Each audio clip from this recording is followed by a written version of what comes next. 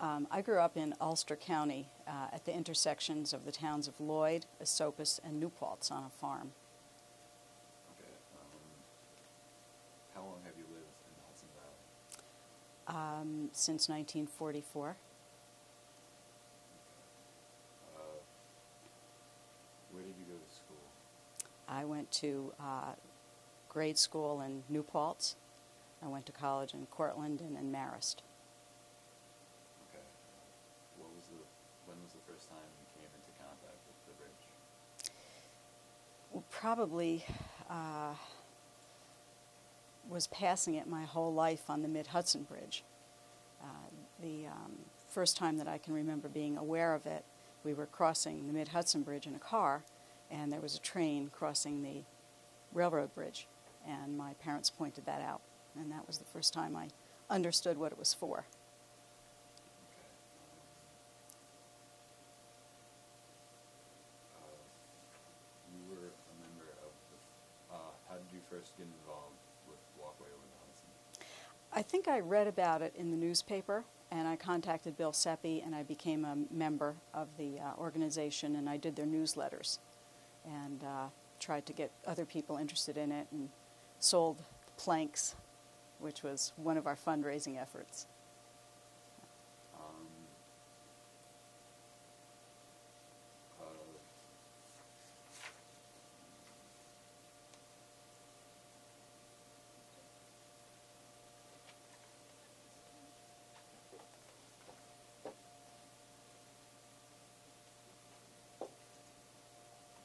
Hi.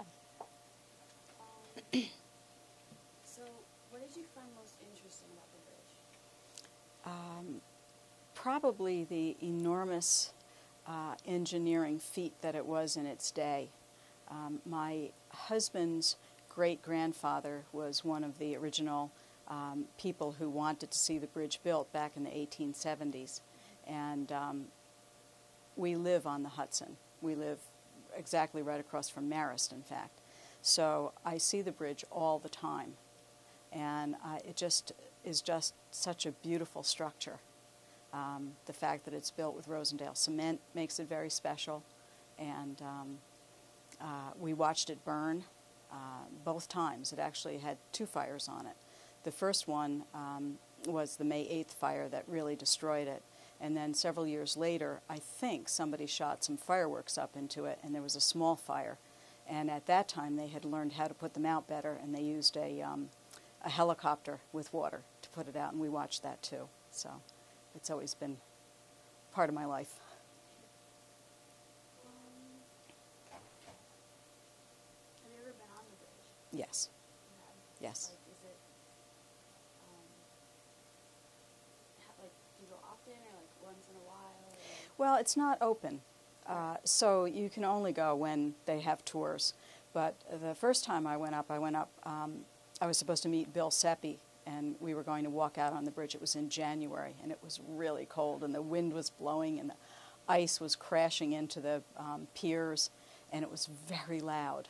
Um, and Bill had gone on ahead and walked out on the bridge, so I actually went out on it by myself and it was uh, a moment of true courage on my part because when you walk out on the bridge, uh, you have a choice of what you're going to walk on. You can either walk on the railroad ties, which have about a 10 inch gap between them. So when you're walking, you have to look down. And when you look down, you can't help but looking down, look down the 212 feet to the river. Then, if you don't want to walk on that, you can walk on the uh, steel gratings, which are on the side um, and they have very long expanses between uh, the larger um, ties that come out. So, looking down at them, you don't even see them. You just it looks like you're stepping off the tie into the river. So I chose to walk on the many ties and look down at that. And after a while, it stopped bothering me, and now I've been out other times too, and it's there's nothing to it now. But that first time was between the storm and the uh, ice and the it was exciting. And the view is unparalleled. Thank you.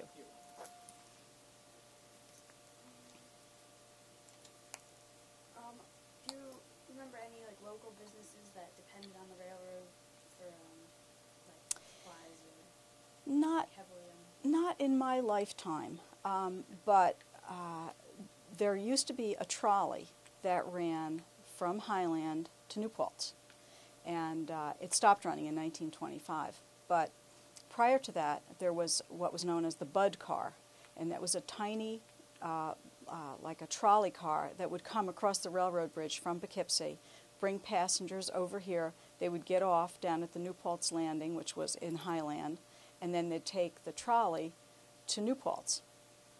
So there were um, race races, horse races in New Paltz, and there were um, the Mi- Mohonk and Minnewaska, the huge um, uh, tourist destinations. Um, there were uh, businesses like the casino in New Paltz, which was a dance hall, and people came from Poughkeepsie to go to those. And then, of course, people went the other direction to go to uh, theater in Poughkeepsie. Um, the other th- way it was used, New Paltz had what was called the normal school, and the normal school was the precursor of SUNY New Paltz. So you had a lot of people who would take the Budd car from Poughkeepsie, then the trolley from New Paltz, and that's how they would go to college every day. So there were a lot of businesses in New Paltz and all, all along the way that uh, were, in a way, um, dependent on the amount of traffic they could get from Poughkeepsie over there.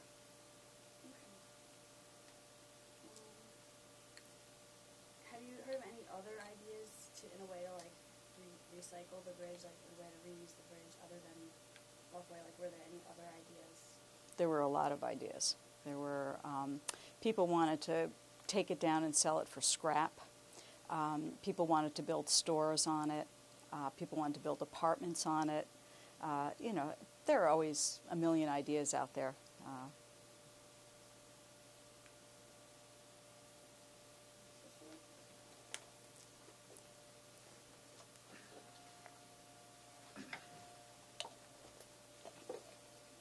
Um, I want to talk about when you were on the first board of Walkway Over the Hudson. Mhm. Uh, did you agree with Bill Sepe's on the direction of Walkway Over the Hudson? yes, in a general way, that the, the end product I agreed with, that it made a lot of sense to turn it into a walkway, into a way that uh, the people of both counties and actually people from all over the world could get up on it and use it and make it a tourist uh, draw for this area. So, in that, yes, I agreed with him. Um, did you agree with how he was going about, how he wanted to go about completing the project? No, I did not. Um, and that's why I left because it just seemed like it was hopeless. okay. Uh, what do you think of the, of how the project is being pursued today? Well, I'm not on the board, and uh, my only real relation to it has been that I've helped them put together their newsletter until they could get uh, someone within the organization to be responsible for it. Um, I'm very happy with everything that's happening, with the amount of uh, attention it's getting. Um, I would have been very happy if Bill Sepe's idea of uh, being able to raise the money privately could have taken place, um, but it couldn't. It would have cost a lot more money to tear the bridge down um, than to turn it into a walkway. And so, in, in a way, I'm thrilled. Um, you're a publisher. Yeah, you're the publisher of About Town. Um, is how does um, does that cover? Does that talk about the bridge and the project a lot? Or? Uh, it About Town is a very small area guide. It covers just the southern part of Ulster County, and I have done stories on the bridge. Uh, it's mostly a calendar of events, and then I do a story either on history of the area or natural history of the area, two or three stories. Um, it's not a newspaper. It's quarterly. Um,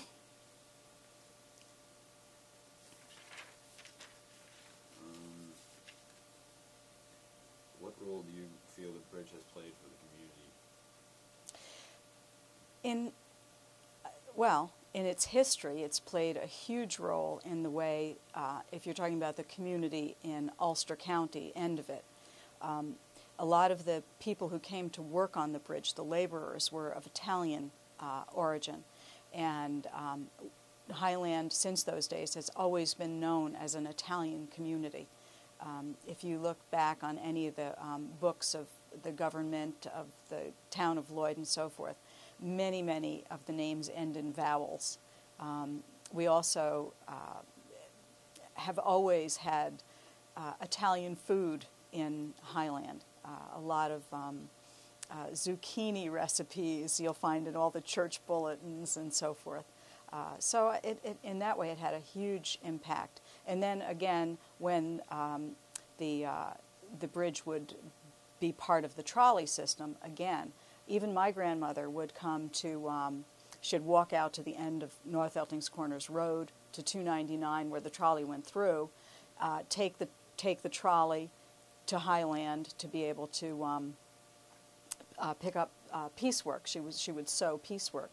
Um, so a, a, lot of the stuff that went on uh, always had the transportation part of it, uh, and that was linked to the bridge because I don't know that the trolley would have been as successful as long as it was had it not been for uh, the the railroad bridge making the connection to Poughkeepsie and the larger population area.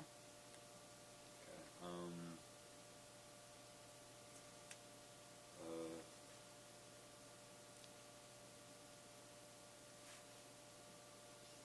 yeah, you can ask that, Nikki.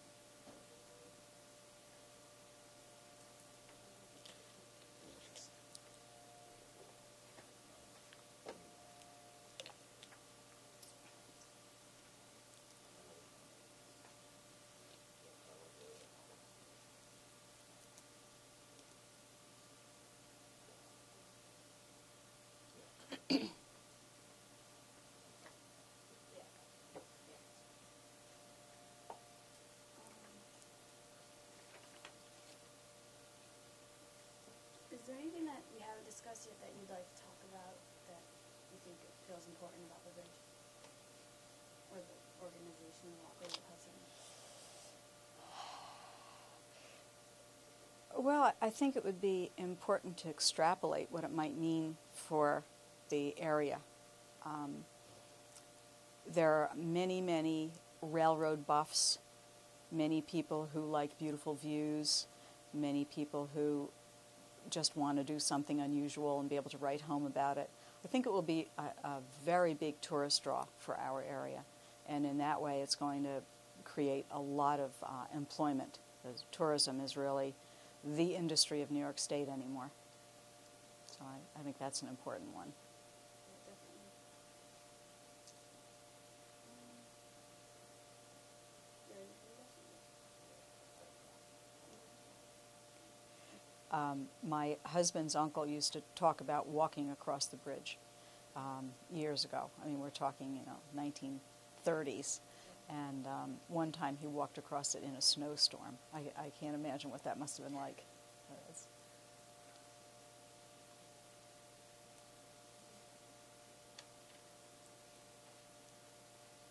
Oh, there is, there is a coup Mm. about the, the organization. Yeah.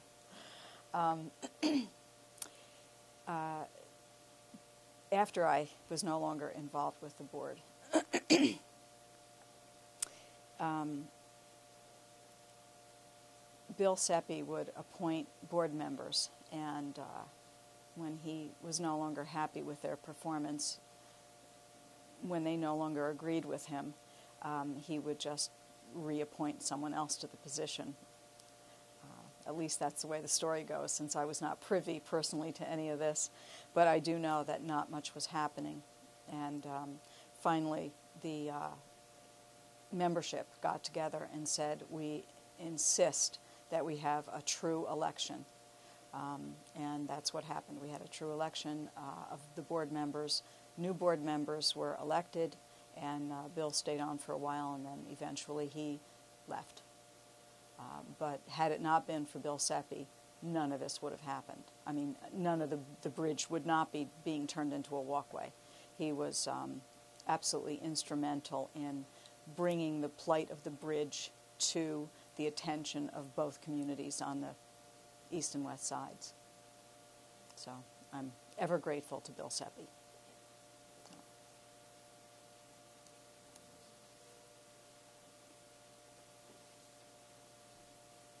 Anything else that you're thinking about?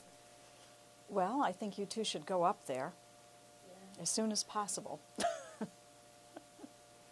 think about doing that, I think, as a class leadership? I think you should. Uh, it, it'll give you just such a different feeling about why people become so exercised over this issue um, and why people have, for so many years, um, worked very hard. I mean, the gentleman in the other room has been up there with hammer and nails and uh, you know stringing electrical things and trying to keep the Coast Guard happy with the lights on it and so forth. Um, and it just it's inspirational. It really is. I mean, just when you realize that it's over 6,700 feet long, I mean, that's, uh, that's quite a span. It was considered a, one of the wonders of the world in its day. And, uh, you know, you look at all those. I, I have a question that that you might have for me, given you could, given present day environmental causes and protecting the and so forth, do you think it's important to educate, you know, people of a different generation, just, you know, how important that industrial age was to the city of Poughkeepsie and the neighboring areas and, you know, I mean, we all think of factories, belching smoke and so forth, but that's really what sort of got most of these cities started up and down the Hudson River. And I think that's- Absolutely. That's an important part of preserving this bridge. Absolutely. Mean, if you could elaborate on that. Um, well, I, I think you. Sorry, let me take a uh, the, the, when, when I said before about the, the engineering feat and the not the um, the techniques that were used to build the bridge, uh, the number of people who were involved in it, from the engineering staff down to the laborers, it was an enormous effort. It was enormously expensive at the time. Um, there were a couple of different bankruptcies, as I recall reading. Um, my husband's great grandfather, who was one of the 1871 group, um, he eventually did, was not involved in it anymore after it went bankrupt the first time. People lost money, um, and yet they kept coming back because it was it was something that was so needed in the area, and um, Poughkeepsie was growing, and this side of the river had a lot of uh, produce that was um, being grown, and it needed to be shipped to different places. The Hudson River was just a great uh, north-south access, but um, there was nothing that could uh, get things across the river as efficiently as a railroad. Um, and, I, and I think the, uh, uh, that whole era of the 1870s to the uh, 1915 or 1920, when you had the Brooklyn Bridge and you had all of the great monuments in New York and you had uh, the Panama Canal, I mean, all these incredible engineering feats that um, we just take for granted now. And uh, so I, I do think it has that place too for teaching about the industrial history of the area. So would you say that because, um, in a sense, like a lot of people who are born here have stayed, or many people who have, they realize that it's probably their ancestor, their grandparents that actually put their effort into making the bridge, that it's so important to them to keep it up and like as a monument of what their grandparents built. So, You know, you just brought up one of my favorite topics. About uh, maybe five years ago, um, some professors at Albany did a study of the 300, excuse me, 3,600 counties in the United States, and the um, object of it was to ascertain the rootedness of the people who lived in these counties to the counties. And that included everything from civic engagement, uh, how long people had owned businesses, how long their families had lived there, uh, where they had gone to school, uh, just a whole range of uh, possible ways that would indicate how you felt about your community. And out of the 3,600 counties, Ulster County was number three. Uh, and I think that may be part of even why I feel the way I do about this area. Um, when my grandparents bought their farm in 1921, um, to me, it was a miracle that my family ended up here. And uh, I'm uh, so grateful to all of these people the people who built the bridge, the, my grandparents for buying the farm. Um, it, uh, it's like you get your, your roots into this soil and you can't let go. It's great.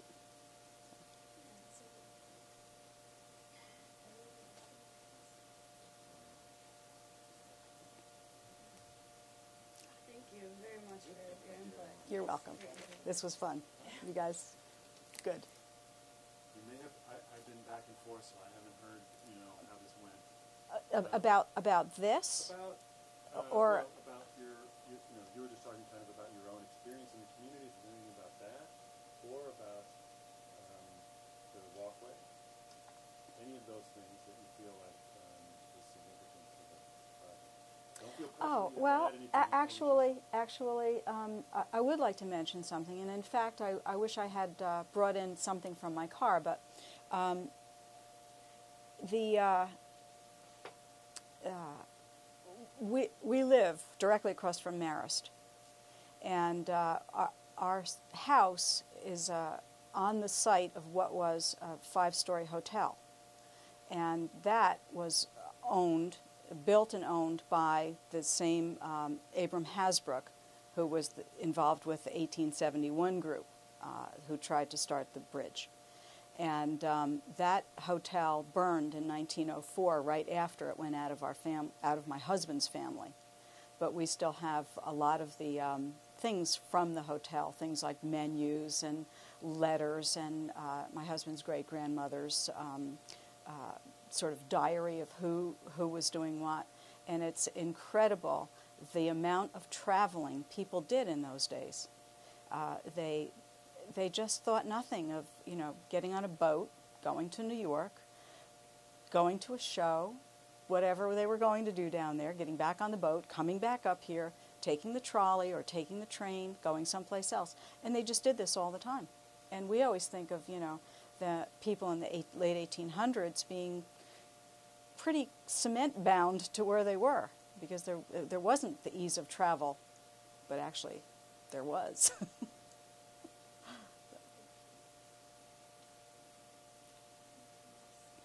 You know, anything else? I know you just added more, but any other? um,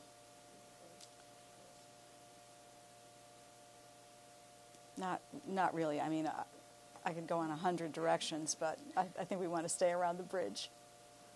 Well, thank, thank you for all your input. You're welcome. This was fun. And they came and took pictures of the, um, the foundations because they're still very visible.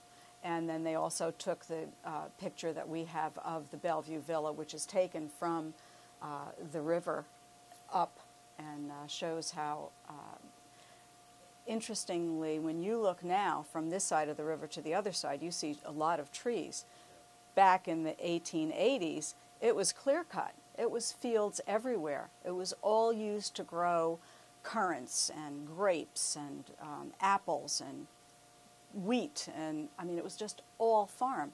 If, if they could, you know, get two rocks out of the way, they would plant something. Uh, so it's just, you know, a completely different place than what you're seeing today. Where's your house? Is it- is You know where the? Marist finish line is? The, the, it, I don't. At least it used to be there when I was in college. There's an X, and then if you On the river. on the riverside, because actually our property comes down to that on on the other side of the, this side of the railroad track. There's a little point that comes out, and Marist used to have its crew finishing uh, line there. Do you know where I mean? So if, if, if I'm like, you know, if we're standing over here and looking across the river. Right. And the railroad bridge is down there and you can see where it's coming. Right. You're north of that. Yes, I'm right across from you. So. I, I look at the library. Ah, Uh, There's a, there's a house right on the tracks there. Just, we're up up on the on the cliff. Okay, I know. Ah. Right. Right, Yeah. there's There's no house in front of us. Okay. There's a structure though, right on the tracks. Like if we look, like if we go out here and we look down the road that takes us, you know, below the, uh, the dorms and mid-rise and so forth, it seems like there's a small house or some sort of structure right on top of the tracks. The tracks right in front. I don't know if it's a boathouse or if it's a part of a small marina or something, To my knowledge, there's nothing down there. uh, we have a deck that's halfway down the cliff.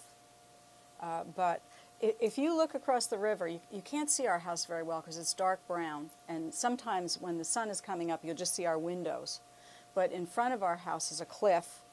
Then there's a, a, a deck that we built, and then there's stairs going up to our house. But we're, I want to say, 200 feet up uh, and from our deck, you, you'd have to climb down a cliff. In fact, we had a, one of our dogs fell over the cliff, and um, we had to have people come from the uh, Sh- Shawangunk group and rappel down over the cliff to find the dog, who was not hurt, amazingly. She was very tiny, so she didn't. And of course, for years we had cut stuff and thrown it over there, so it was very springy, and she landed on that. But uh, it's a it's, I, our house is the highest house over there. And there's a white house to the south of us, I mean, to the north of us, a big white house. A low, long house? Yeah, mhm. I think I look right across at that house from my house. Yeah, well, just look south look of it. of okay. Um, one, two, we would be the third one, but the highest one. And that, that's where Bellevue Villa was. And people would come up on the Hudson River Day line to that, to the train station, and then they'd come by horse and buggy. There was actually a dug road up the face of the cliff so that uh, people could just go right to the hotel.